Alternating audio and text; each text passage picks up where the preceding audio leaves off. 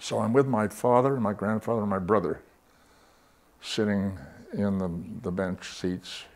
Women were upstairs. Five or six guys get up on the bema on the stage and they're facing the congregation. They get their talit over their heads and they start this chanting. I think it's called duchening. And uh, my father said to me, Don't look. So everybody's got their, their eyes covered with their hands, or they've got their talit down over their faces, or turned away, turned their back to these guys. And I hear this strange sound coming from them. They're not singers, they were shouters. And dissonant, it was all discordant. And they, uh, they, were, doing like, that kind of wailing. And all discordant, not together, not in unison. And then the leader would shout out, Yevorechecho! And the rest of them would respond, Yevorechecho, It was chilling. You know? Whoa, something, something major is happening here. So I peeked. And I saw them with their hands stuck out from beneath their talit like this towards the congregation. I thought, wow. Something really got hold of me. I thought, this is a. I had no idea what was going on, but the sound of it and the look of it was magical. This is the shape of the letter Shin, Hebrew alphabet Shin. Very interesting letter in the, in the uh, language. It's the first letter in the word Shaddai the first letter in the word shalom, first letter in the word Shekhinah, which is the name of the feminine aspect of God, who supposedly was created to live amongst humans, the Shekhinah. Why you're not supposed to look came to me much, much later, much later. My wife Susan has a cousin who's a rabbi here in Los Angeles at Temple Israel. And I was telling him this story, and he said the reason you don't look is the the legend is that during that benediction,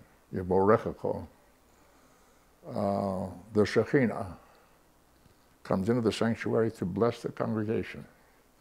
And you don't want to see that because it's so powerful, it could, you could really get, be seriously injured or it could be fatal. So that's why you protect yourself by hiding your eyes. Don't look. I survived. I never dreamed that I would do that someday or be involved in it in some way. But sure enough, one day we're making the Star Trek series, television series.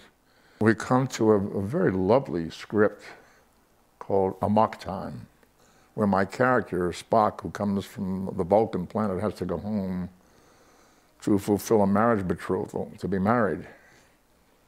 And the lady who's going to uh, conduct the service is a, a lady named T'Pau, played by a wonderful Viennese, Jewish Viennese actress named Celia Lovsky. I'm supposed to meet her when we arrive at the planet.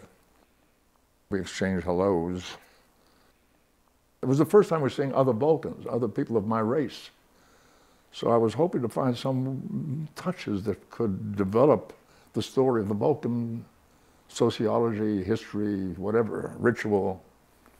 So I said to the director, I think we should have some special greeting that Vulcans do.